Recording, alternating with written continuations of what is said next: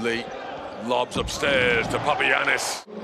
So far, apart from the alley-oop slam from Papi, Zalgiris has to work, cannot make the shot, but there, Ponitka doing the bits of everything he can, and there, finally, they have been tough as nails. That's making this. Lee finds Papagiannis in the paint. This time he's got his feet set, and this time with confidence.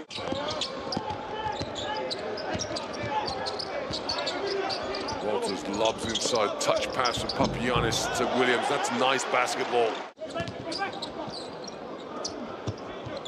Nick.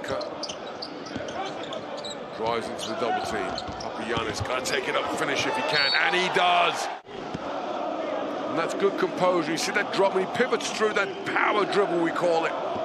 Just allowed, allowed Ponitka to get the rebound. Now Lee. Try and get someone. He does, finally.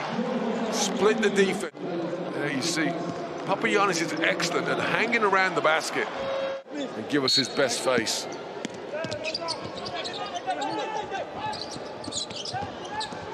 Shot clock running out, and it is Papagiannis!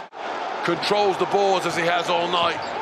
And suddenly, the modest-sized crowd in, in the OAKA is on their feet and making noise as Panathinaikos. Well, sometimes you have to suffer the agony of a horrible first half to swell to the thrill of the comeback. He's only taken one shot tonight. Vildoza gets it rejected. There, Giorgos Papagiannis.